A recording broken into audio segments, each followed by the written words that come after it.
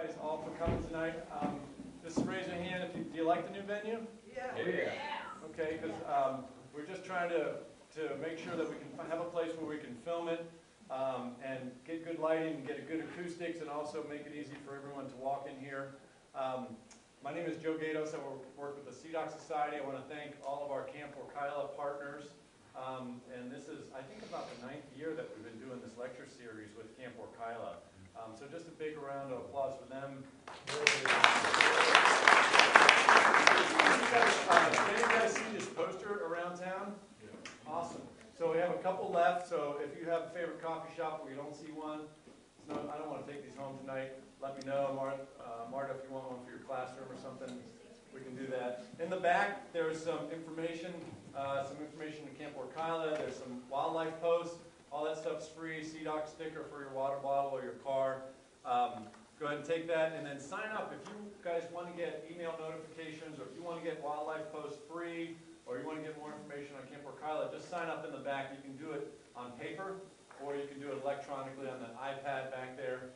Um, And I wanted to thank all of our uh, sponsors. We love being able to have this thing for free, and I think we get a real great diversity in the crowd because of that, and we wouldn't be able to do it without our sponsors. So I want to thank Tom Averna, Deer Harbor Charters, uh, Barbara Bentley, and her husband Glenn Prestwich, um, Audrey and Dean Stuckey, who can't be here tonight, Barbara Brown, who I think I saw here tonight, and West Sound Marina. So let's give them a big round of applause. And now I get to introduce our speaker, Dr. Peter Chase. How'd I do? Good.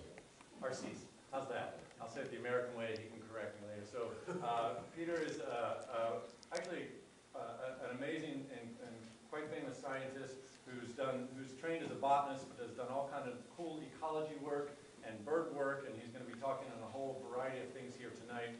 Um, he's a professor at UBC, he is actually, uh, from this side of the border, and so he's got this transboundary thing going on that we like a whole bunch. He's done a lot of work in the Gulf Islands and the San Juan Islands, um, so he knows this area very well, and I'll let him take it over from there. Good. Big round of applause. Thank you. Well, th- thanks very much. It's, it's lovely to see so many people here and to be back in the islands. I, I was surprised to see a Camp Orkila t-shirt. The last time I spent the night on uh, Orcas Island was probably 1963 at Camp Orkila.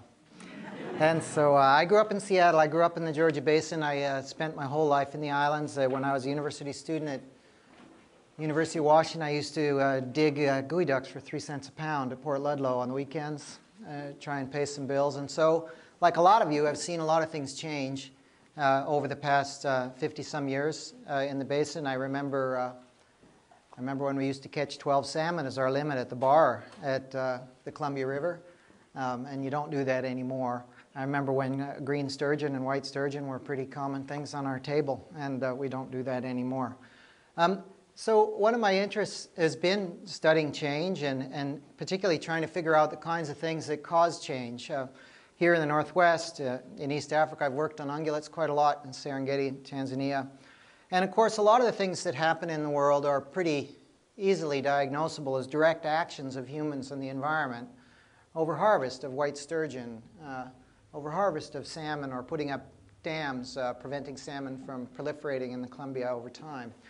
But one of the more interesting things to me has been kind of working on what I think of as the indirect effects on humans. And I guess what I'd like you to consider this evening uh, is that uh, you actually, and me, uh, might be having bigger effects on the environment through the indirect actors that we influence uh, rather than the direct things we do, like harvest. And so I'm going to talk about indirect effects, and I'm going to give you several examples of the kinds of indirect effects that humans have. I'm going to kind of weave that into a story about change in the basin and some of the things that we're doing to try and uh, stop some of the negative changes that we think are happening and perhaps uh, accept and even embrace some of the other changes that might at first appear negative but might just be uh, some things kind of getting better. So, uh, uh, what I'll do is um, start off uh, talking about uh, a very simple observation we make when we're thinking about change and how we try and understand uh, our impacts on the environment. And here are two slides, uh, one from the edge of the Serengeti, actually the edge of the Ngorongoro on the left there, You can see a tree line in the back, perhaps, and that's the Ngorongoro Reserve, and, you can see agricultural land in front of that. And the other is uh, the center of my old study area up in Kogatende Ridge near the Mara River in the northern Serengeti. And we usually often look at places like this, inside parks that we think of as relatively natural versus outside parks, and measure the difference in those two places as our actions on the environment. Uh, but one of the things we find is that uh, we're often surprised when we compare those protected areas to the areas we've developed, because of course, protected areas we assume are doing a job for us, that they're maintaining examples of more or less native systems and species. And one of the observations that's been made repeatedly over the past several decades is that's not always the case. And it really came to, uh, uh, to, to, the fore for me when I was teaching at the University of Wisconsin for several years. There in the upper Midwest, a famous plant ecologist uh, named Whitaker, who described the plant succession and other things, uh, was interested in describing the upper uh, North American ecosystems and did so by putting in uh, a few hundred plots. I, I, hear something. There you go. Sorry. Um, a, a, bunch of plots to describe ecosystems of the upper Midwest. And it was interesting when I was there as a, as a uh, Professor Tom Rooney was doing his PhD, and he was interested in describing change too. And so one of the things that was he was able to do is go back to those plots that Whitaker had put in and just look at the rates of change. And these are vegetation plots, so kind of these were uh, about 20 by 20 meter square plots where Whitaker went and described the cover of all the plant species in there and then identified, of course, all those species. And Tom made a very uh, kind of basic observation that most botanists would expect to make. He went back and when he looked, he, he refound 115 of those plots and he said on average about 18 percent of species were gone. And that's not too surprising because in a fixed area plot the size of the room, you might imagine over 50 years plants come and go but might stay extant on the landscape. But the real, the real crux was that when Tom compared the rates of extinction of plants in plots, uh, depending on where those plots were, he found that more than half of species have disappeared from plots that were located inside parks uh, and much many fewer outside parks. And of course, this was a real kind of scary surprise, and Tom really wanted to know why. And, and the reason why is if you've ever been to the upper Midwest is because, of course, most of that area is, uh, is agricultural area now. And in those areas, there's lots of waste grain, whether it's corn or other kinds of things. Stuff that sits on the ground, either like in this year when there's a drought, uh, it's not worth the farmer's time to go out and harvest it. So that corn will sit on the ground and it will feed deer. And those deer will retire into parks during the hunting season or during the day just to find shelter in trees. And of course, in the spring, as trilliums are coming up or other palatable species, the deer are still evolved to respond to those tasty little morsels as they come and go. But they're much more abundant than they used to be, up to 250 animals per hectare in some places, or two, per square kilometer in some places in Wisconsin. So what we're finding is that in many places, protected areas simply aren't doing the job that we expect. They're not maintaining valued species and ecosystems. And a lot of people are talking about the need to conserve, uh, that, that in order to conserve native species, we're going to have to think more seriously about stewardship, potentially working inside parks to control the abundance of species, in this case, white-tailed deer. And so this is a classic indirect effect. Uh, changing the landscape, getting rid of predators, allowing herbivore populations to rise up and essentially uh, having hundreds of lawnmowers out on the landscape that are modifying the environment, whether or not you're really doing anything about it. We've got a whole bunch of agents essentially acting for us that are driving much of what we see.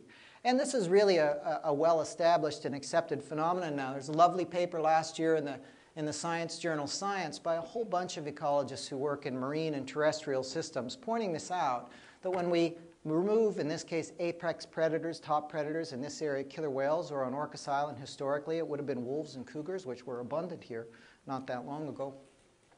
Uh, when we take those out of the systems, we often get systems that look like on the left side there. That's a, a Central American forest with and without jaguars present. The same place after jaguars are reintroduced on the right side, uh, keeping herbivores down and allowing some of the vegetation to come up. And that lower picture is the same plot you can tell in Yellowstone. Most of you will have known that wolves have been reintroduced in Yellowstone. They've now been back about 20 years, and vegetation is coming back quite dramatically, even though they haven't really reduced the size of the elk population there, what they have done is change the behavior of the elk. The elk are much more sketchy about going into some places where there's a little bit of cover, and because of that, vegetation is able to recover, and not just the vegetation, all of the birds that go along with that vegetation. So many neotropical migrants, lots of warblers, which used to be very rare in Yellowstone, are now becoming very common in riparian areas where wolves have uh, indirectly assisted them in return. So what do we know about deer? I'm going to start off by talking about deer and then give you some other examples. What do we know about deer in this system in the islands? Well, the fact is we actually know very little other than that they're often a nuisance in our gardens and things like that. But a few people have studied them, and one of the places we've been able to study them in a relatively natural state is in the central coast of British Columbia, a place we often refer to now as the Great Bear Rainforest, but a lot of us still call it the mid-coast, adjacent to Haida Gwaii, uh, north of Vancouver Island and south of Prince Rupert. In that area, Chris Darimont and many others have been looking at deer and, and wolves and trying to understand how these, these systems work overall. And he's made some fairly straightforward observations. Uh, in this area, not surprisingly, wolves, uh, uh, about 80% of what they eat are deer on these islands in the Central Coast. And because of that, they often depopulate the small islands, little islands like Cypress Island around here, or um, uh, I can't think of the name of some of the others. Certainly, little things like Crane Island. Maybe there'd be a deer on Crane Island for just a little while, but of course, uh, as cougars come and go and swim to places, it wouldn't be hard to depopulate that island. So, what they've found is on many of these areas, these islands get a rest for a period of years to decades uh, uh as predators are uh, manipulating these populations. And as a consequence, vegetation communities look very different in the Central Coast than they do in areas uh, just adjacent where uh, wolves have been removed. We also know that when deer are introduced into islands in these areas where they weren't previously present, we see big, big changes in vegetation. So this is a plot or, or, or a graph. You can see uh, by people like uh, uh, Jean-Pierre Martin and others for the uh, part of the research group on introduced species in Haida Gwaii. And what they've done over the years is uh, surveyed plant communities on islands that have had deer for different amounts of time. I don't know if uh, people know, but on Haida Gwaii, deer are not native. They were introduced there in the 1920s as a, as a species uh, that people wanted to proliferate so they could harvest. Uh, but we have a number of uh, islands that are still deer free. And we have other islands where they know the time at which deer arrived. And so what you've got is green, blue, and red bars there.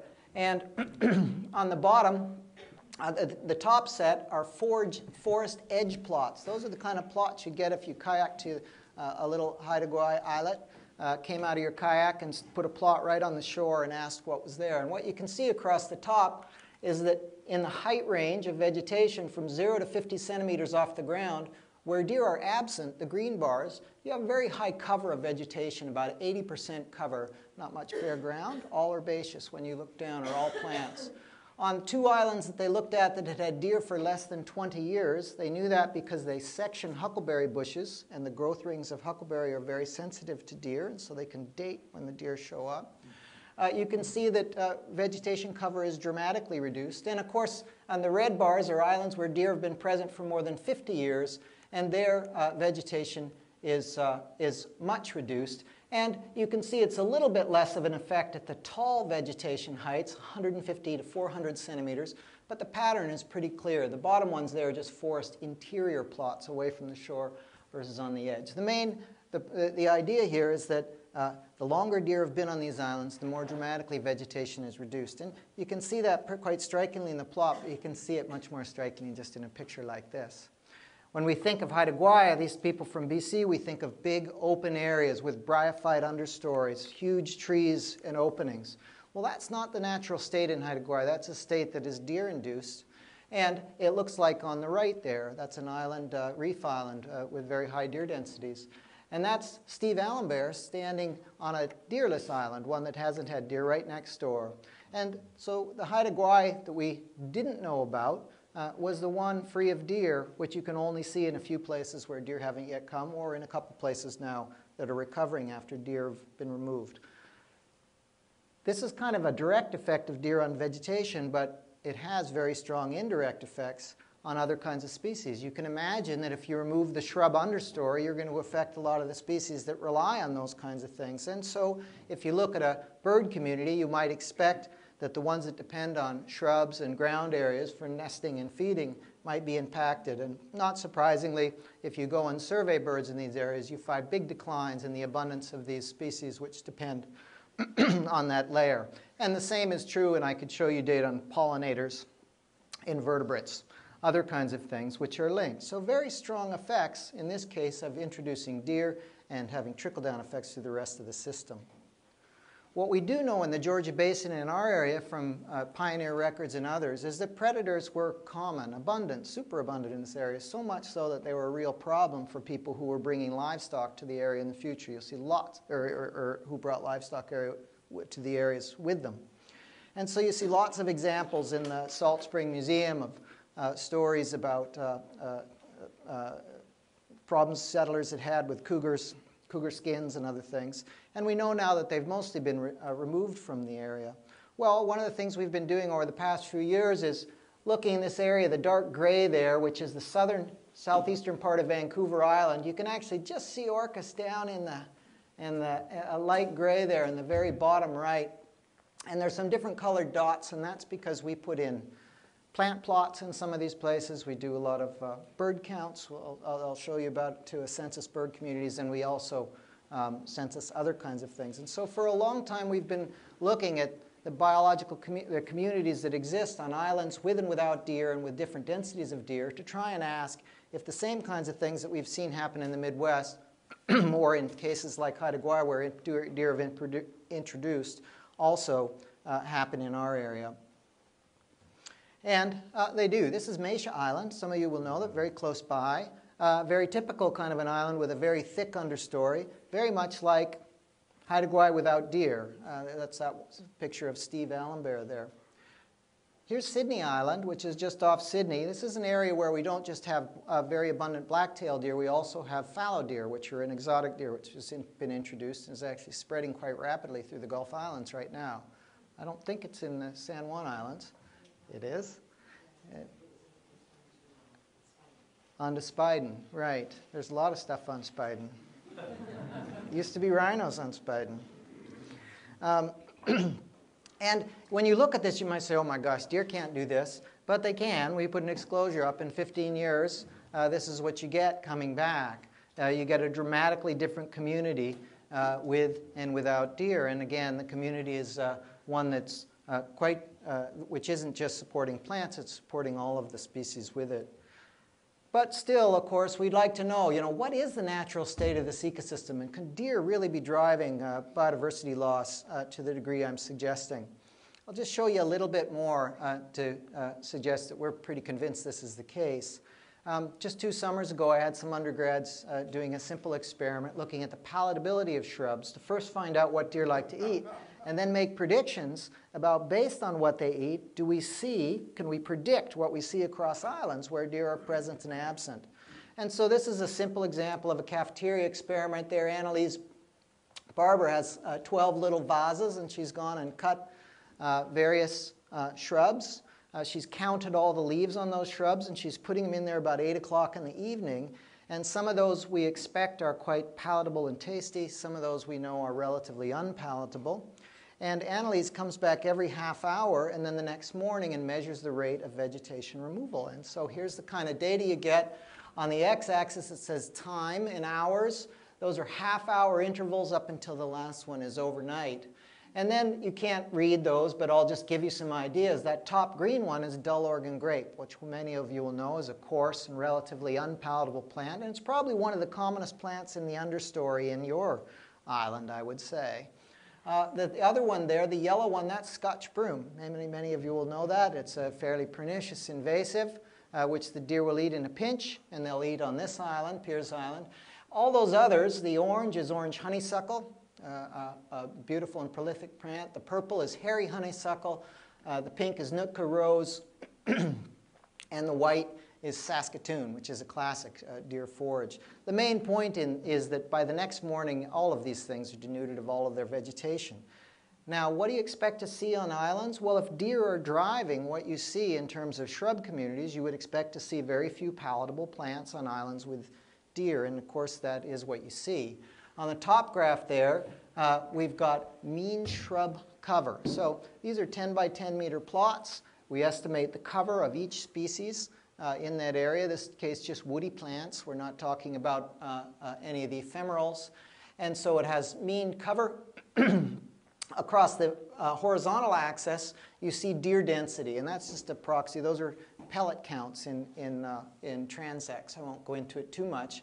But up at the top, you've got what we think of as the relatively unpalatable species. The green one is salal. It actually increases on the, on the far left, that's islands with no deer. On the point, 0.5, there are islands with very low deer density, just enough so you can hardly uh, find pellets, but you'll find a few and you know they're there. And then what you'll see then is that salal actually increases, and so does dull, dull Oregon grape, and a, not so much Scotch broom. A red huckleberry is the red one there. They actually increase a little bit in the presence of deer, but at very high deer densities, like on Sidney Island or Jones Island nearby, if you've ever been to Jones, uh, you'll see that those shrubs are uh, just, even the palatable ones disappear. The bottom ones there are the ones that we often think of as su supplying most of the color and and, and diversity. Uh, orange, you can't see at the very bottom, it's under the yellow one, that's arbutus. Many of you know arbutus, or madrona, I think you call it here. Uh, um, uh, madrona is a very uh, iconic plant, but on many of these islands, I'll challenge you to go and find uh, much uh, in small diameter. And we actually know that if you look at the diameter of these plants, they're very well predicted by, by deer density.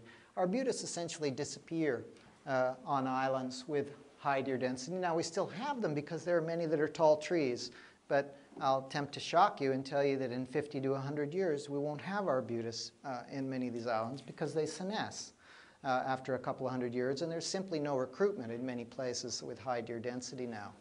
Uh, we can start to see that happening here, but the same is true for many others. The yellow is orange honeysuckle, which a lot of you probably really welcome. I do every May because that's where you see the hummingbirds show up uh, just after they hit the flowering currant. The red is Nootka rose, uh, the white is sass, uh, snowberry in this case. I don't have them all on here. Uh, over the left, uh, you'll see a, an easy index that we've come uh, to use. That's ocean spray. Many of you will know ocean spray, Holodiscus. It's in the rose family. It's very palatable. And what it does is, in the absence of deer, it'll grow more or less like a beach ball shape because it recruits from the bottom like a lilac. Almost all new vegetation uh, suckers from the bottom. But when deer are there eating that, you start to get something progressively that looks like that bottom one, more of an umbrella shaped one. And all you have to do in the Gulf Islands is measure the ratio of the width of that plant at a half meter off the ground to one and a half meters, divide them, and you can uh, predict deer density uh, almost perfectly. Uh, that's a very, very good indicator. Not only can you predict deer density, you can predict understory bird density, you can predict the cover of non-native plants in the meadows adjacent to those things. It's a very good index. And for us, it's quite uh, pervasive evidence that deer are driving things. Here's another example. that top island is Link Island. The bottom island is Ruxton. Those are 800 meters apart, but Ruxton hasn't had deer on it in the memory of anyone I've run into there. Uh, and they look very, very different. One has a high species diversity, lots of cover. The other, again, looks like Haida Gwaii, the, your kind of uh, common area. On the, the graphs there, again, you've got on the top native cover. And what you can see is that in the absence of deer, you get about 110% cover. That's because you've got overlap of plants, some of the lower ones, uh, the other ones, but down to about 20% cover at the highest deer density. That's like Sidney Island or Jones Island, which I showed you before. And species richness is really probably the thing that's most shocking to me. Again, in the absence of deer on islands around here, you might have 18 species within a 10 meter plot. Uh, at the highest deer densities, you might have four. And you know what four those are going to be. Oregon grape, salal, broom, and something else. Uh, and so there's very, very strong and dramatic effects. And so we do know, in this case, that the abundance of deer is now driving most of what you see. As a matter of fact, I often tell botanists uh, who work for the ministries in the Georgia Basin in, in BC that uh, about 60% of the variation in plant communities they see in the Georgia Basin is due solely to deer. Has nothing to do with soil, moisture, or anything else. Deer are driving the communities. They also do things, I won't go into it a lot, uh, they do the same kinds of things here as they do in Haida Gwaii. I won't get into the complicated graph too much. On the right, though, it does, or on, it says, or left, it, uh, the vertical axis, that's log abundance, the log number of birds. Uh, the little axis, uh, they've all been kind of standardized in abundance, so that's the zero point. Then I've got low, moderate, and high. That's low islands with low deer density, moderate, and high. Because there's two lines there, it's just showing you that the pattern in the Gulf Islands is exactly what we see in the Charlottes. On the left, that's Rufous hummingbird. You're all familiar with Rufous hummingbird. Three orders of magnitude more common in the absence of deer than in the presence. Yes, you all still see Rufous hummingbirds on your, around your property. Why? Because many of you have feeders, because many of you have plants. But if you walk into the forest, uh, you'll, find, you'll have a hard time finding them. Uh, and if you compare forest plots on islands with and without deer, you'll see about three orders of magnitude more hummingbirds in the absence of deer than the presence. And the same holds for almost all of the small body birds which use that shrub understory. And these, I could go on and on. I'm going to give you, show you a couple others. Uh, we've also uh, asked whether deer are driving much of what we see in our oak meadows. I don't know if you call them Garry Oak meadows here. We often do. And many of you have been lucky enough to visit some of the islands in maybe the second week of May, first week of May, which is my typical favorite time to go, when uh, camas on the left or on the right there, or sea blush, plectritis, is blooming like crazy.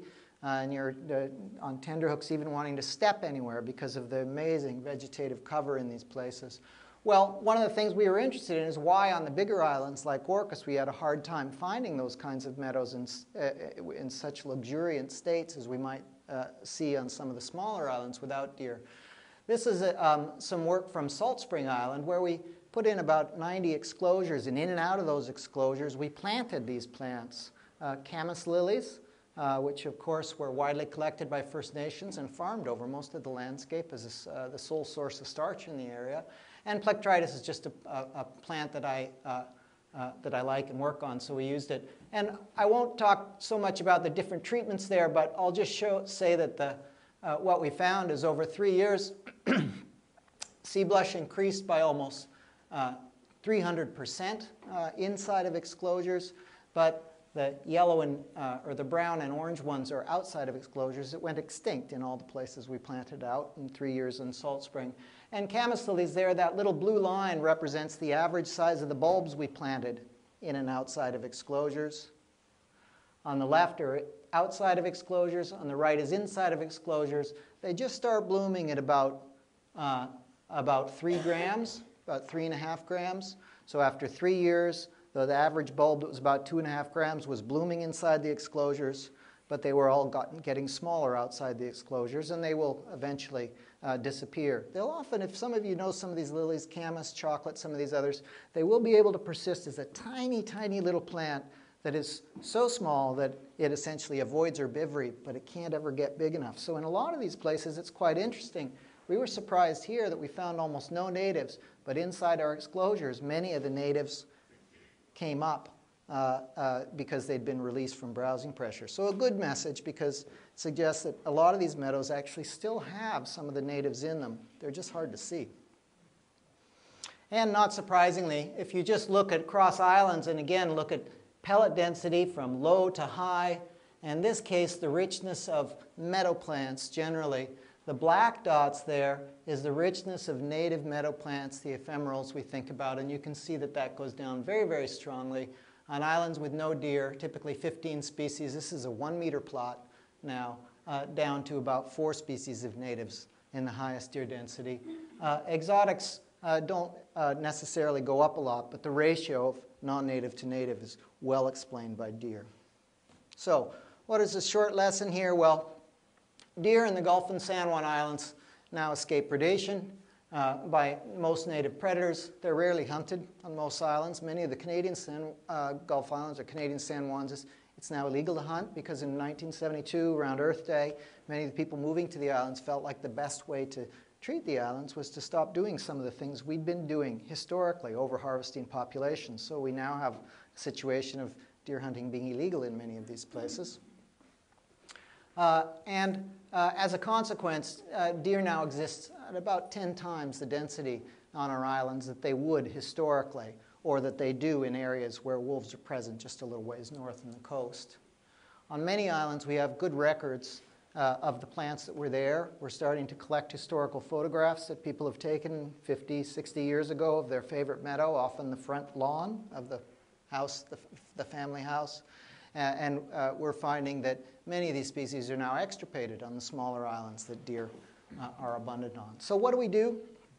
Well, I first want to just show you that it's a much bigger problem, of course, than just deer. Let me just introduce you to another uh, uh, animal you, some of you probably know. Uh, I would guess many of you know, might know what a brown-headed cowbird is. This is a blackbird. It's a very interesting bird. It's a parasitic blackbird. It doesn't build its own nests, it lays its eggs in the nests of other birds. And it's a North American native. Historically, it was found with bison. A lot of people uh, uh, figure that the migratory habits of bison might have uh, uh, uh, uh helped it develop this adaptation of parasitizing other birds by laying in other nests and then not taking care of its kids. So it parasitizes a whole bunch of hosts, actually about 200 birds in North America, but mostly they're small-bodied passerines, sparrows, warblers, flycatchers, vireos. One of the interesting things about cowbirds is we're the ones who really control their distribution because as we've spread uh, agriculture and pastures and livestock, we've spread the distribution of cowbirds uh, throughout the region. Now, why is this an issue? Well, cowbirds do have impacts on their hosts. Till recently, we thought they were fairly modest they mostly had to do with uh, cowbirds usurping parental care, uh, reducing clutch size because female cowbirds take one egg out the day before they lay their own, and so they'll reduce fecundity of the hosts. And they sometimes induce nest abandonment. Some of the warblers, once they're parasitized, will leave, so that slows the warbler down, has to start another nest. That's a cowbird on the left at the top and a song sparrow young on the right. I've worked on song sparrows for many, many years. Those guys are six days old. That's a very typical kind of thing. So uh, and so we've often thought the effects were a bit uh, modest, but I want to show you a, a quick video. This is a blue wing warbler. A friend of mine, Phil Elliott in the East Coast, uh, uh, sent this to me because I'd written some papers about some things I thought cowbirds did that people weren't very aware of. And uh, he said, What do you know? So this is a male blue-wing warbler. He was studying parental care and interested in how males took care of their kids. That there's a little nest. This is on the ground. It's in Connecticut. Uh, we have warblers here, no ground nesting warblers, but we have lots of shrub and tree nesting warblers. There's seven young in that nest. And you'll see a cowbird come in in just a second. It's only a minute long. There she is.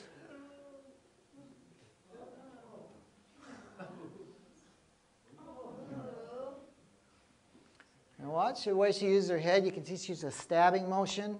This, I'll show you some pictures of some kids in just a second.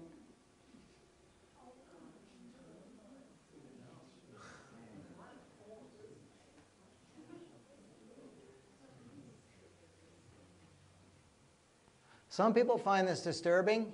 Um, I actually, I don't know, it's a little bit disturbing, but you know, all of us, all of us pray when we go to Africa to see a cheetah chasing an impala and getting it, right? Well, this is saying, I don't know how many have been thrilled to see a merlin getting a shorebird on the, uh, during migration around here, or a Cooper's hawk uh, taking a, a, bird. But that's, this is an extremely uh, highly evolved bird, which is, um, she's just out of the picture right now, but she'll come back. Looks in the nest, looking around, making sure she's done her job, checks the kids outside and then she'll be gone. Well, why would she do this? Why would she do this? Is she just mean? Probably not. It's probably something that she does to enhance her ability to produce young. And of course, one of the things I mentioned to you is that they lay their eggs in the nests of other birds, right? But if they want their kid to hatch at the same time as the host, they have to have a nest which is in the laying stage. Any female who has a nest which has advanced eggs or young is not useful to her. But if she causes that nest to fail, that mom will start a new nest within about six days. The cowbird can farm the host very well, and we know that they do that here. Uh, we've been working on song sparrow populations for some time. And we saw when I started looking at song sparrows like this, these are from a little island like Skull Island where there's no, there's no predators or scavengers. And I started seeing little song sparrows. These are uh, about three to four day old song sparrows with these contusions on them. And so those are that's that stabbing mark of that cowbird. So what she's doing is coming to islands. They start showing up about May 5th. The song sparrows have already, already been nesting, as well as many of the other uh, resident songbirds. But they're not available for that cowbird to lay in until she resets the host and get, gets it to lay and starts farming it. So they actually have fairly dramatic impacts on many of their hosts, not so much through those first things I showed you, but by causing nest failure. Why is this a problem? Well, cowbirds aren't native in this area uh, either. Uh, they were first showing in the Georgia Basin during the breeding season in 1964. We have some historic records that show they occasionally were in southern BC in the early 1900s, but those are all September, October records when blackbirds often flocking in the fall. Since then, however, as we've expanded agricultural use in the area, cowbirds have responded to our change in land use and our introduction of agricultural uh, fields and livestock and increased enormously in abundance, and of course, as a consequence, had big effects on hosts. We determine how many cowbirds there are and their distribution. Now, an interesting thing about cowbirds is that because they feed in association with livestock, they're limited in how far they can go to parasitize because a female has to spend energy uh, to build eggs, but also to go find nests to lay in. So they typically don't go more than about seven kilometers from their feeding areas. So if you localize those things, you'll localize cowbirds. So this is a map of the probability of encountering a cowbird. In this case, Vancouver Island's on the left. These are Gulf Islands. Orcas should be, they, sorry, I wiped out the, uh, the US San Juans and the GIS here. We just have the Canadian side of it there. But uh, that's Stewart Island uh, and uh, Sidney Island or uh, some of theirs. And the, the dark red are areas where you're likely to encounter a cowbird. And you'll see it's kind of spottily distributed, and I'll, I'll tell you that that's because those are islands uh, where cattle are run. and the yellow are areas where cattle or where cowbirds are very scarce. We've been studying song sparrows for 40 years in the area, and we know a lot about how cowbirds drive their demography. In other words, affect whether the populations grow or decline. So we can use that cowbird distribution and the song sparrow distribution to actually map areas in the landscape where cowbird pop, or excuse me, songbird populations, song sparrow populations, are able to grow in the absence of cowbirds, and that's where it's dark red, or where they're always going to decline on average because they simply can't produce another, enough kids to replace themselves. And those are the yellow areas. What we now know, the reason we study song sparrows is because they're an archetypical passerine, small passerine, open cup nesting bird. So we now know that cowbird distribution uh, is one of the best predictors of the abundance and diversity of small birds in the southern Gulf Islands, and we run that. We run that by distributing livestock and agricultural areas throughout the island. So we're determining by our land use whether or not host populations are growing or declining, and that includes most of the warblers, vireos, and flycatchers that are hosts of the cowbird. More trouble in paradise. In Canada, we, we call this the Canada goose. Uh, but most people in British Columbia, and perhaps some here, don't know that it's not native to the area. The memory of most uh, people about the history of this animal is past. Many of us will recognize it uh, as a migrant in the area. And in fact, if you go back to the early textbooks, Guiguet and Cowan, you'll see it as an occasional migrant up until about 1960. But an interesting history of the Canada goose is that we pretty much, we almost wiped it out in North America, especially the giant Canada goose, which was in the North American, the Midwestern flyway. When we were market hunting swans and whooping cranes and eating those for Christmas and Thanksgiving dinner, uh, in uh, 1890 to 1920 until we passed the Migratory Bird Protection Act. We were also hunting these commercially, and in fact, the giant Canada goose was thought to be extinct in the Midwest, Northwest, or Midwest U.S. till it was rediscovered in North Dakota. 22 animals on a North Dakota farm. People discovered some very large geese there, We just, we, we, uh, uh, uh, people rounded those geese up. Uh, we bred them like crazy because we wanted to reintroduce that, and wildlife agents all around North America reintroduced them uh, throughout North America, including to here. They started breeding in our area in about 1970, and what you probably, I would guess, Canada geese are quite abundant in this area now. They're lovely birds, but they have big effects on the environment. Why? Because they're big composting agents. They, they eat enormous amounts of plant material, they digest it, and they poop it out. And when they do, uh, they provide a very high nitrogen fuel filled with little plant seeds. And many of you may not know, too, that we have almost no native grasses in this area. Certainly there's a small handful of species, but most grasses we have now that cover our landscape are non-natives. These guys particularly like Poa pratensis, turf grass.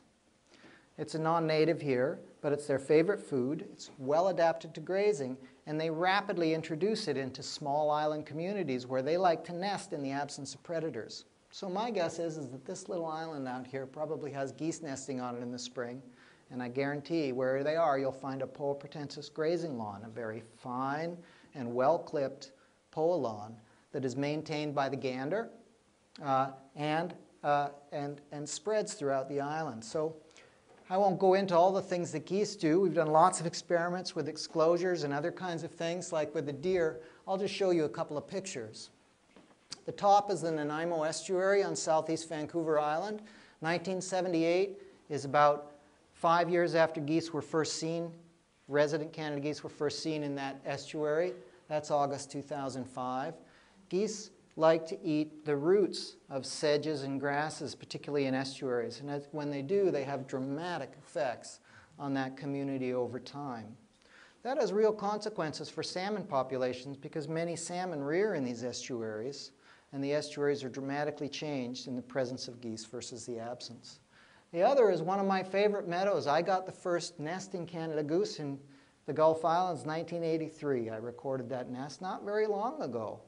Well, that used to be one of my favorite little meadows. That top picture is from about 1985. The bottom picture is from just a few years ago. And one is the meadow in the presence of geese, one is the meadow in the absence of geese. And we're rapidly seeing this kind of change throughout many of the small islands through the area. As geese introduce plants, introduce nitrogen, which the local natives are not adapted to, but grasses are extremely well adapted to. So they very rapidly convert these communities. Okay. Do these kinds of changes really matter? I mean, geese are great. We've got, I mean, they're nice to hear in the fall. I've been enjoying them. The, the, the snow geese are probably here. I don't know if you've heard them going overhead. I love hearing the geese in the fall coming back.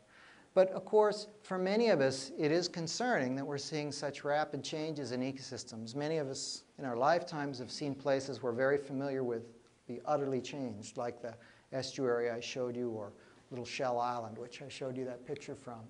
And in Canada, in any case, and I'm sure here too, we're of course uh, quite concerned about maintaining representative examples of ecosystems. We call the area we live in the arbutus oak fir system the coastal Douglas fir ecosystem. In Canada, it's considered the most biodiverse system in Canada. It's also now the most imperiled. Why? Because we have 115 species at risk. Our Species at Risk Act. It's like your Endangered Species Act.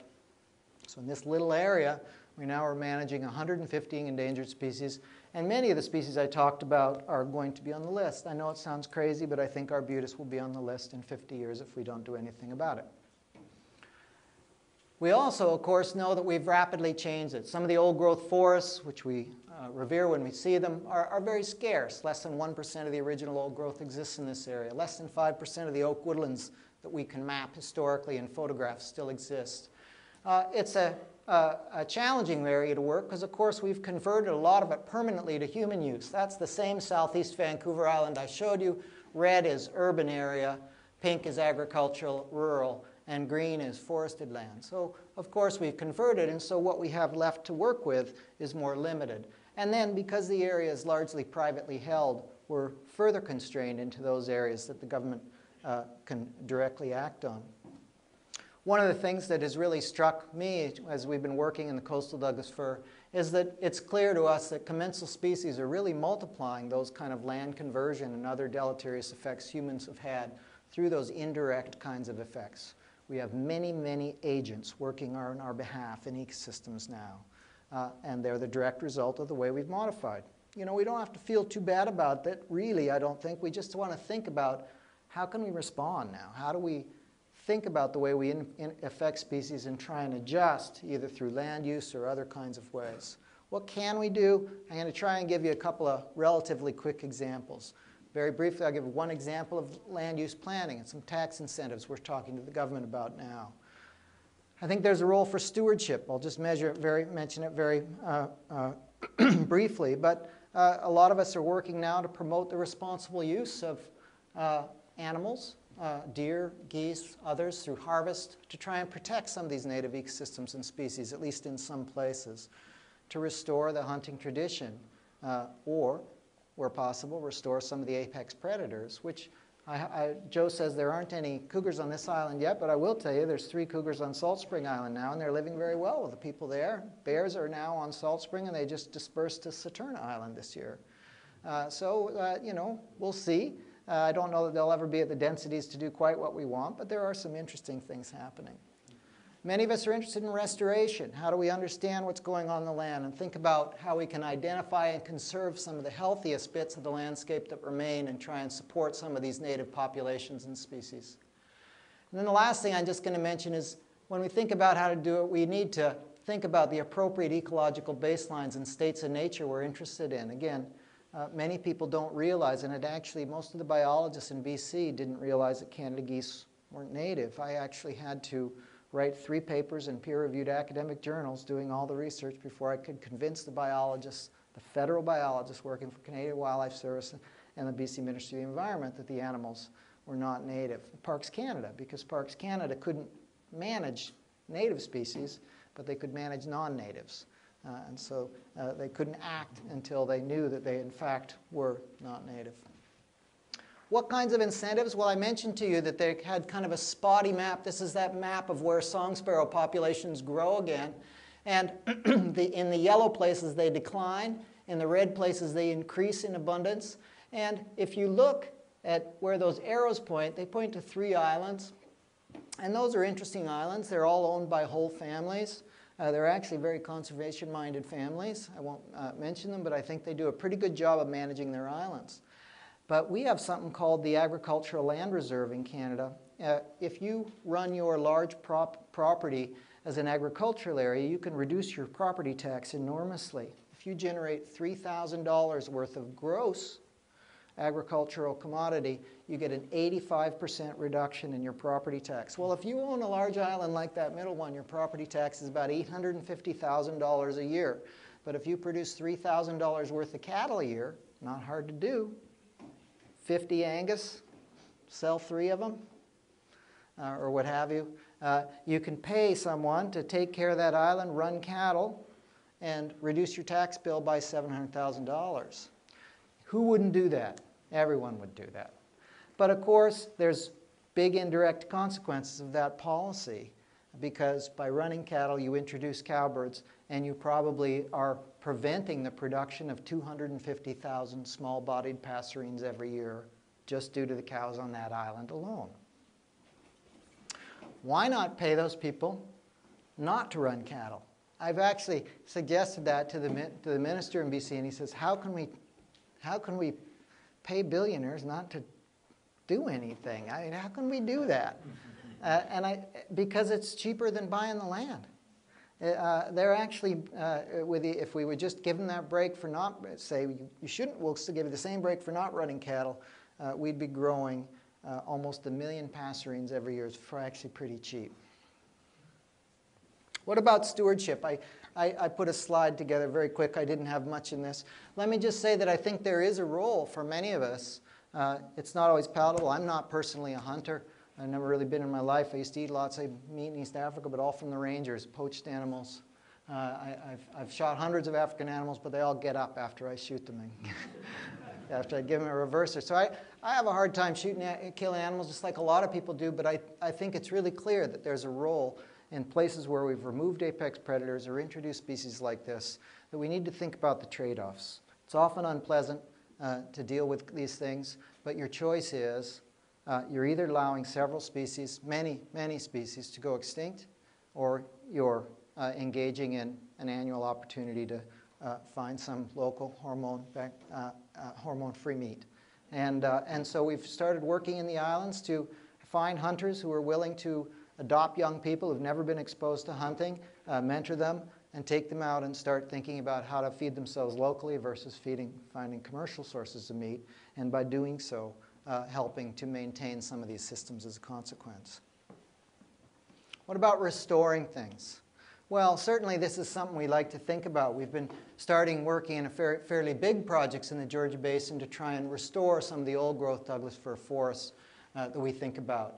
Uh, ones that spotted owls, marbled murrelets uh, used to be abundant in. Um, we probably aren't going to get those species back, but we would like to make sure that creepers, Townsend's warblers, and many of our salmon are still benefiting from the benefits of these older streams. And even if we aren't going to get murrelets and owls back, we think we can get many of the uh, uh, commoner species back and support, and support them into the future. What we've been doing is mapping the distribution of species to still find out where high quality areas are. And I'll just say that uh, birders do this, or biologists do this by going and doing what we call them point counts. You go to a place with your GPS, you stand there for 10 minutes, and you record everything you hear within a 50 meter radius or whatever within. Uh,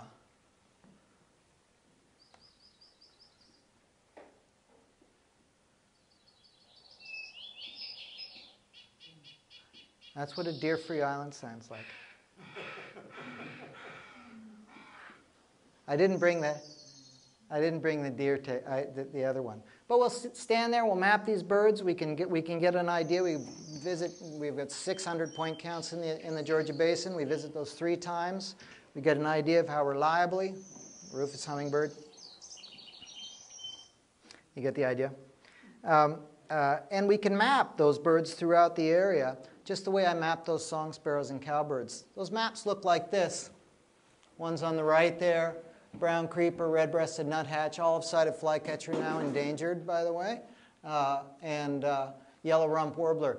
We'll take forest birds. In this case, we use about 18 birds that experts tell us are generally reliant on the characteristics of large old trees, old forests and gaps, and we'll combine those to get a map like that one on the right, where dark green are places where you're likely to encounter the old forest bird community. We do this because that starts to incorporate those indirect effects. The birds are generally absent from places where we've done things like encouraged cowbirds that cause those populations to go down. But this tells us where those populations are still relatively uh, uh, healthy, and it starts to be candidates for con conservation. So this is the same picture now, just with areas where you have a 95% or higher probability of getting the whole forest bird community the old forest bird community. The purple areas are areas that are reserved already inside parks. I won't show the analysis. It's unfortunate parks don't actually support very many birds, but that's a lot like I mentioned to you with uh, deer in the Midwest. A lot of our parks aren't necessarily well placed. But we're now working with private landowners and others to try and think about how we can acquire those lands where populations are maintaining themselves and relatively intact i.e. they've demonstrated that they're relatively immune from those indirect effects. We know we aren't going to remove cattle from the landscape. Uh, we, we want to try and insulate our areas from them. How are we going to do it? You, uh, you uh, all, all know the price of land in this area. Uh, we can't always do it through acquiring land, so we've been looking for some novel ways to do it. This is a map of standing carbon. Uh, at Saanich Peninsula, is the red thing sticking up there. Sidney and the Swartz Bay Ferry Terminal is at the top. The middle island there is Salt Spring Island. Uh, the light gray ones where I haven't mapped carbon are just on the US side down there. Dark green uh, are older forests and higher standing carbon. Right now, those old forest patches on the carbon markets at the Chicago Mercantile Exchange are worth four to $10,000 per hectare. Shell and other companies are writing contracts. They'll pay people to maintain that carbon there uh, over a contract. Uh, we have negotiated a couple of contracts now. NCC used one in eastern BC in a place called the Darkwoods. $15 million out of an $80 million purchase was funded by carbon contracts, in this case from Shell, uh, in order to keep that carbon on the, la- on the land. And so we know that isn't going to buy land, but it's starting to offset the opportunity costs of development. And we've got many landowners quite interested in rather than selling and dividing their lands, keeping it as the family trust, putting it in contracts, and hopefully taking that back into fairly old forest. I will say that many of these forests are 80 to 120 years old on average, so an 80 year contract is going to get them to 200 years. And uh, optimists like me think in 200 years we're going to be smart enough not to want to cut down those old forests again. So we think things will change. But we need to also think about when we're doing these kinds of things about how much things have, have changed, what we can realistically bring back, and make sure that we know the states of nature we're after. How do we measure success? Well, one of the ways is to do it is to make sure we have accurate baseline descriptions of what things are. This is a picture of my lunch in 1983 on Mandarte Island when I was a graduate student starting to study birds. I don't know if anybody sees what's unusual about this. Those are pinto abalone. I used to eat them all the time. I don't know if any of you are familiar with that. That's an endangered species in both sides of the border right now. You can't find those. Uh, very hard to find. But I swear to God, in 1983, at any two foot tide, you could have gotten pinto abalones to your heart's content. They were abundant. Uh, things have changed very, very rapidly. But you know what? I often think about that and I think, geez, you know, things have changed a lot. You know, things used to be lovely in 1983. That meadow didn't have geese in it yet, and I was taking that lovely picture, and now things have changed. But it's easy to forget how much th- things have changed. Many of you may not know that this species used to be abundant in this area. Basking sharks. Joe just showed me a lovely video. Uh, basking sharks are large filter feeding sharks, which were enormously abundant in this area, and they're enormous in themselves. You can see a swimmer next to that one. That's off the Canary Islands, or a kayaker in this one. I often wonder what it would be like, what kind of an industry we'd have, a tourist industry, if we had thousands of these animals in the area and you could swim with them. Well, we did have thousands of animals in these areas until about the year I was born. We got rid of them uh, the last ones in the early 60s. How did we get rid of them? Well, I'll let you read this. This is a Victoria Times, 1955.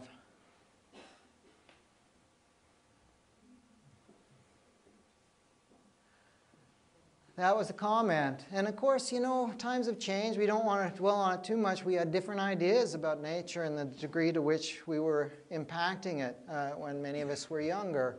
People didn't realize in some ways uh, what things were, but at that time, there were 400 basking sharks, 20 to 40 feet long in Nanaimo Harbor. There were thousands in the Georgia Basin. They were such a problem that the ferries had a hard time getting into the ferry terminals. And fishermen who were putting out their gill nets in the fall for salmon had a real trouble when a 40 foot basking shark wandered into their gill net. And so what happened was in the 1940s, when those basking sharks were giving trouble, the Canadian packers lobbied the federal minister to have them put on the pest list.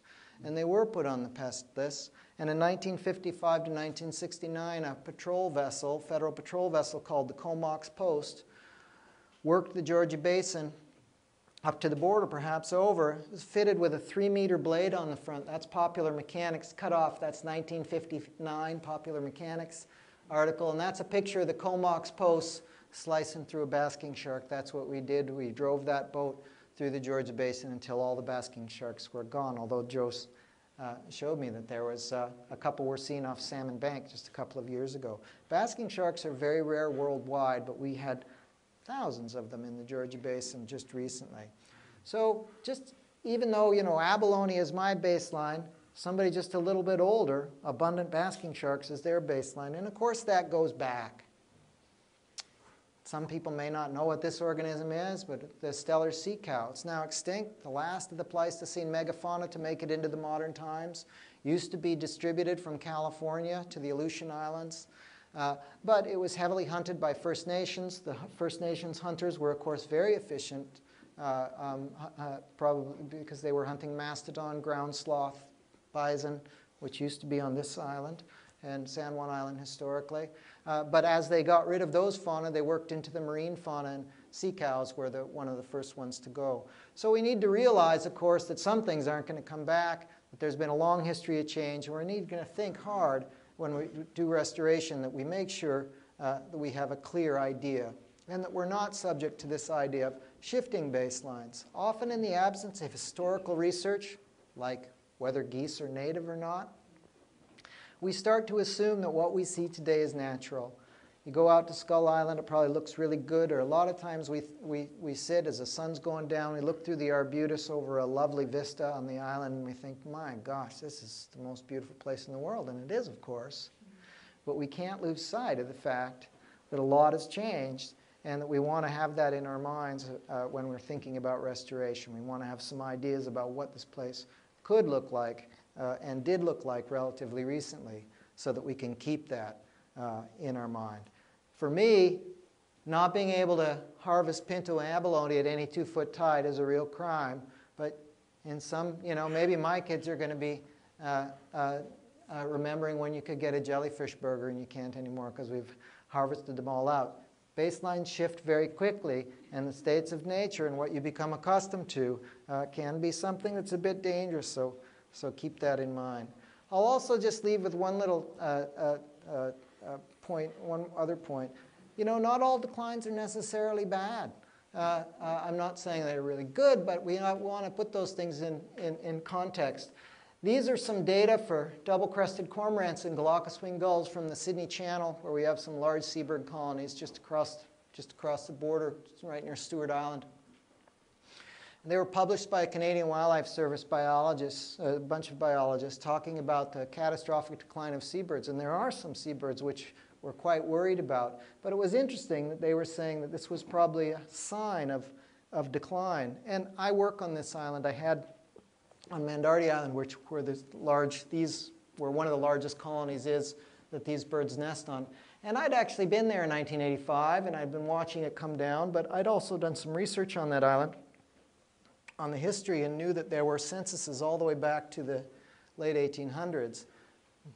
Those birds were in decline, but actually at the turn of the last century, uh, they were at very low abundance.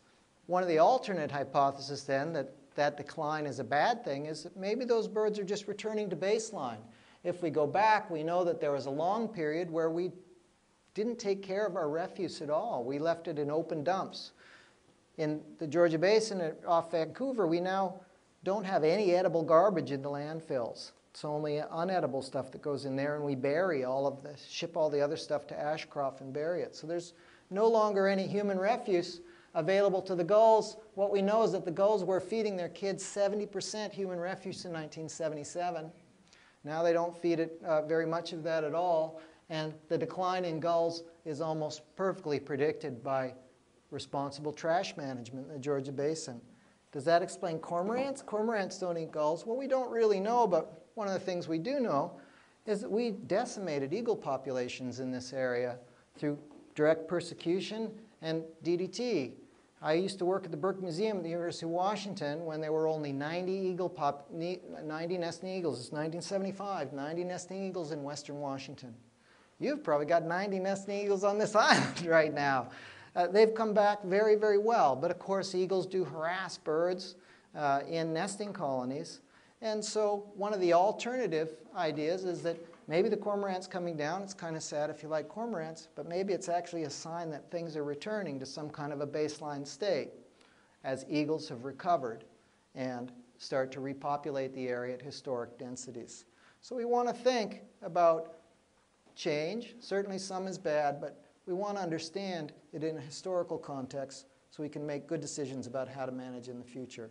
The other thing is, oftentimes I just tell stories that just get people really depressed. I mean, they say, oh my God, things are horrible. But let me remind you, not everything is horrible. Uh, matter of fact, some things have uh, really turned out pretty good lately. Uh, when I was a kid, you didn't have a hope of seeing a gray whale.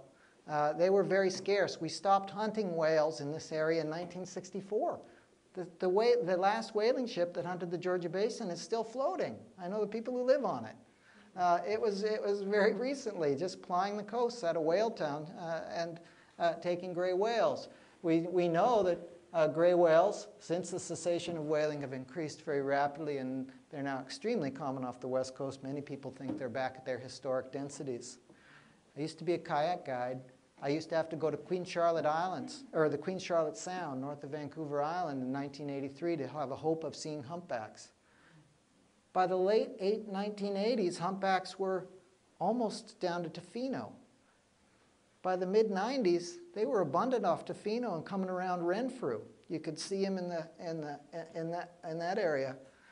My, uh, my field assistants sent me photos of two large humpbacks off Stuart Island, uh, right near Spieden this summer. Humpbacks are back in the Georgia Basin and they're going to be regular visitors, I hope, uh, in the future.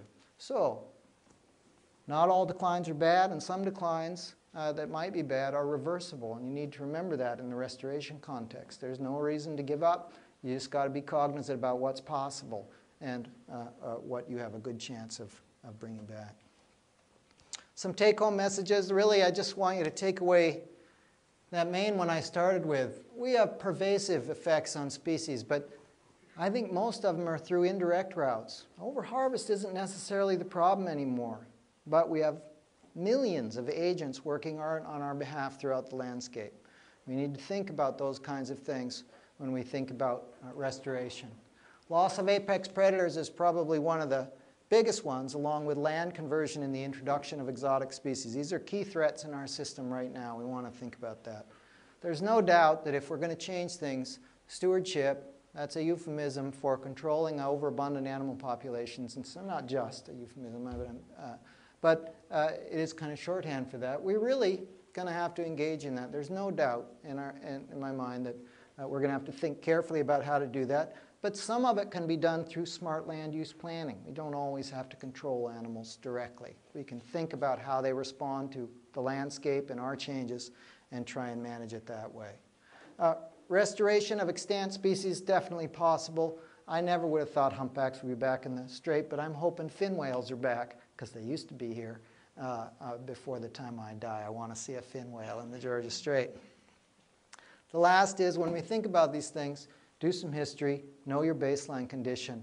There's a real risk of assuming that things now are the way they should be, or uh, that things as uh, your father tells you or mother tells you.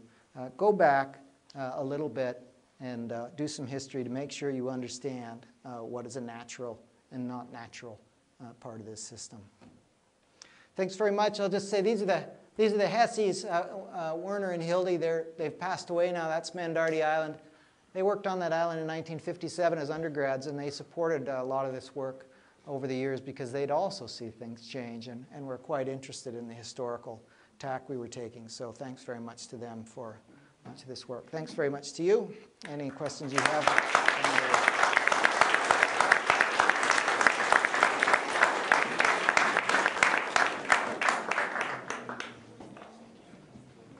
Yes.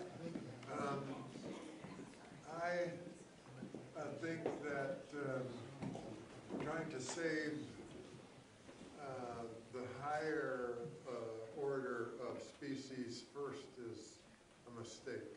What do you think about that? I like bugs. Oh. I think grassroots up uh, seems to me like a better way than uh, whales, salmon, right. whatever. I, think, I, I would say it depends on the, on the system. I mean, in a case like, um, so bugs, I love bugs too uh, um, and invertebrates of all kinds. Um, but you know, uh, in, in the islands, probably the best way to enhance vertebrate populations is to reduce deer densities. The reason is, is because you increase foliage volume, and that means there's more for insects to eat, there's more places for them to hide, and, and you'll do that. Nectar feeders. One of the things we know is that, you know, we, I don't know how many people know, we have 350 species of bees in our area many, many, many, many kinds of bees here. Uh, but on islands with lots of deer, you'll only have about a third of the assemblage that you have in the absence. So in some cases, I'd think it, yeah, I mean, whales, they probably don't have a lot of direct effects. I mean, we love seeing them, but, but focusing just on whales might not cause other things to happen. But, but, but getting, uh, putting a sterilized female cougar onto Coursey Island would probably be a lovely, or, or on uh, Darcy Island would be a great idea. uh, because uh, she could reduce deer density to very low densities very soon, and you would probably encourage uh, 35 species of plants um, to come back and hundreds of species of invertebrates. So I think it, I, I would say it probably depends on the case. Well, I like getting rid of more deer. I hate to put too much on the deer, but they're such uh, important actors. Yes. Uh, I've been told this, but I don't know if it's true. Um, There are wolves in the Gulf Islands and on Vancouver Island, and I've been told that they can swim from island to island and that they're coming this way. Absolutely. Yeah, I, I was telling Joe, I mean, uh, the conservation officers shot two cougars in Sidney, BC last year. Uh, they're breeding in a little place called Horth Park. It's about 15 acres in the middle of a residential area in North Saanich, and they shot two of the young ones that were dispersing out of that. But, you know, they haven't shot a couple others recently because those young ones were unfortunately looking a bit too interested in people and dogs and things like that. They were, uh, and, but in other places where the animals are, um, you know, where there's enough prey and they're not getting into trouble uh, otherwise, they're doing very well. Wolves are occasionally in the Gulf Islands. Uh, I saw the last one, that one was shot in 1983 on Sidney Island, the biggest Vancouver Island wolf. It's now in the Royal British Columbia Museum. That animal dispersed from somewhere on South Vancouver Island. Wolves are uh, kind of occasionally seen, usually a single one, but uh, cougars will come in first. Uh, you know, when I was uh, working in East Africa, we, uh, some people I knew were re- trying to reintroduce ja- or uh, uh, not jaguars, uh, leopards into Nairobi Park. I don't know if some of you probably been to Nairobi. There's a big park right on the edge. No one saw leopards in that park, so they radio collared them and let them in, and they kept getting killed. And they found out they were getting killed by the resident leopards that no one was seeing. Those leopards were there; they just didn't. People weren't aware of them. And so, uh, and actually, that's been very good. There's so cougars are moving in, and I would guess they'll be here in the next 20 years, uh, if not sooner. And yeah, there was a wolf on Valdes Island last year, and uh, there's black bears on Saturna now. Uh, so they're slowly coming back in. Black bears aren't going to do do much to deer, but cougars, cougars do do a lot. Yes. I was wondering how any of your research might take into account the variable of logging right? Right. It's um, certainly, I mean, certainly logging enhances deer populations because when you, uh, when you log forests, you cause a release of uh, lots of shrubs, fireweed, all those kinds of things. You know, many people, uh, and so, uh, but if the deer weren't there, nothing would have happened. So I, I don't know. I mean, logging will have changed that place utterly in terms of the overstory. But um, not, I'm not, not really an advocate of logging, but uh, by any means. But what I would say is that many of those places come back pretty well. It's just unfortunate it takes 800 years, all right? I mean, but they, they do come back pretty well, yeah. So, um, you said that the cougar and bear were, or wolves, wolves? Cougar and bears are, are back in the Gulf Islands. Wolves have been in occasionally, but they have a harder time. Wolves get into trouble really easily. It seems like cougars seem to be better at staying under the radar. Were they on this island? Absolutely. Yeah, wolves would be all through this area. I mean, they're abundant on Vancouver Island, and I'm sure if if you went back and if there, are, I'm sure there must be diaries of some of the early settlers in this area. Yeah, there's no doubt that cougars would have been resident. You you would have probably, I mean, I'll take a wild guess, but I'm pretty. You probably would have had 25 cougars on this island or so, and uh, historically, and the deer density would have been much much lower. Uh, any raccoons uh, would have, uh, raccoons would have been extremely scarce because that would have been what they would have been eating uh, when they weren't getting deer. Not that raccoons are bad, but they're of course commoner now. So, but yeah, cougars would have been common. Wolves would have come and go. Uh, wolves, wolves tend, cougars tend to drop out in the mid coast because they, they don't do well with lots of wolves. So there is a, they don't they don't live together that well. So to repopulate, are they swimming? Yeah, yeah, yeah. They swim. I've never seen one, but I know quite a few people who've seen cougars swimming in the in the islands. And deer, of course, swim too. Um, they'll they'll get to places. But remarkably, many of the islands around here, my sense of looking at things is that if you have an island that's more than three and a half kilometers from the next nearest island, it shouldn't have deer on it on average. In other words, those islands are often ones which wolves will, and cougars would have occasionally got there and depopulated them, and deer very rarely get back to islands like that. Um, so, uh, uh, yeah, so they would have been a common feature, um, and they would have they, they would have trap-lined islands. Cougars, especially, would have gone from island to island, probably living there for a couple of years until they brought deer densities down to an area that they were ready to swim, or the female stays and her, her sons have to go, right? Or the, the kids go because there isn't enough. So, yep, they would have been all through this area. Yes. Uh, yeah, do you think, uh, if or when cougars came back to the island, could they live, you know, like in peace or whatever? It's hard to know. I often wonder about this. You know, I, I mean, in, uh, um, in Europe, brown bears, which are the same species as our grizzly bear, we call them, are almost the same. Uh, Ursus horribilis here, we call them Ursus arctos there, I think. But, uh, you know, everyone will tell you that brown bears, uh, like, they've come back like crazy in Slovakia, and they often live quite well with people. And wolves, I mean, in, in Spain, wolves are quite common in Spain and the Italian Alps, and they're, they're very rarely in contact with people. It's tempting as an evolutionary biologist to think that the long history of humans in Europe has led to wolves which are um, very good at avoiding humans because any of their ancestors which didn't avoid humans, which interacted too much with humans, were, were killed. And so I don't know that that's going to happen, but we've joked, you know, we, biologists joke over a beer that we should bring European brown bears here because they've already learned to stay under the radar. But that, so it's facetious. I don't know how long it's going to. Yes, I think they could. I think it might be a long time. We do know that cougars, like the ones on Salt Spring Island, most residents don't know they're there, and the people who do know they're there often don't talk about it very much because people do worry about it, but they haven't caused problems. So, so it, it can happen, but certainly I can't guarantee that cougar's not going to eat your dog. You, you were talking about how fast baselines can shift. So when you're trying to restore a habitat, how do you know what baseline to restore it to? It- go pre-European or pre-native or pre-human? Well, I used to, I used to uh, deride, not deride, well, yes, I guess, uh, Parks Can all the time because they had a big restoration thing, and I keep telling, saying, how do you know when you're done, guys? How do you know if you did the right job? Because they, they were telling me that Canada geese were native, and I said, you know, I mean, you got to have a good idea. So you don't really know, except unless you do your history lesson. Luckily, the, the, the, the naturalist records around here are really quite good. There are some pretty good places.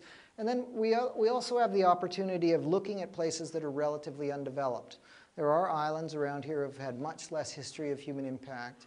And so we can use those a bit as baselines. That's what we do with the deer, right? We go to relatively isolated places and compare vegetation communities. Or in the, in, at Haida Gwaii, where you've got the opportunity to compare those which have deer and, and not. So depending on the case you're talking about, you can often find reasonable comparisons. What I worry about is when I'm finding that I'm around the table with biologists and half the biologists don't know what the history of the place was. So the first thing to do is to do your homework, take advantage of the r- records that are there, uh, use First Nations middens, uh, which people are now doing to reconstruct the fauna of the area. That's how we know sea cows were common historically because their parts are, are uh, uh, found in middens. And so, uh, so that's the first thing to do. Just, just do your research. And then, you know, we need, uh, there's only a few of us out on the landscape who kind of have this insatiable curiosity for what this place looked like. And so become a biologist and, and help us out. Yeah. The population of introduced rabbits is increasing fast on Orcas. How do rabbits um, affect the vegetation compared to deer? You know, it's a great question, and uh, I, I don't know how to answer it. I mean, you know, uh, I have no idea. We haven't done any work on that. I imagine they have quite big impacts. I don't know a lot about the feeding habits uh, of rabbits, so uh, I would guess they have big impacts, but I, I can't tell you how.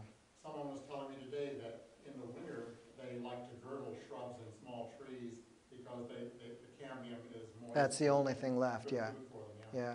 You know, it's, it's, it's surprising and hard to know. I mean, I have a good friend, Andrew MacDougall, who works on Garry Oak, and we don't understand why, why and how Garry Oak recruit. I mean, what makes the young uh, um, uh, come up. We don't really get it. He has done a bunch of experiments in the Cowichan Valley of Vancouver Island and showed that it's actually voles, uh, uh, Microtus pennsylvanicus, which is the main thing that is uh, regulating Garry Oak because they eat cambium in the, in the winter. And so, you know, we were wondering, you know, geez, are, do, do oaks come up when there's some kind of a something that has somehow suppressed the voles for a long time? Because we haven't gotten rid of things that should suppress the voles. I mean, really, uh, minks are still common. Many of the small predators, uh, red-tailed hawks, Cooper's hawks, those things are still quite common. So there's a lot we don't understand. I'm sure the rabbits have a lot uh, going on. And basically, what we'd have to do, I guess, is do an experiment. You know, find some places where there are rabbits but no deer. Some people have done this. Put up exclosures so that the rabbits can get through and not the deer. That's a bit of a, it's a bit of a job to figure all that, those things out. So let, let's, uh, let's call it here, because I know some people have to go. If you have questions, you can come up. Let's give Peter a big round of applause for that.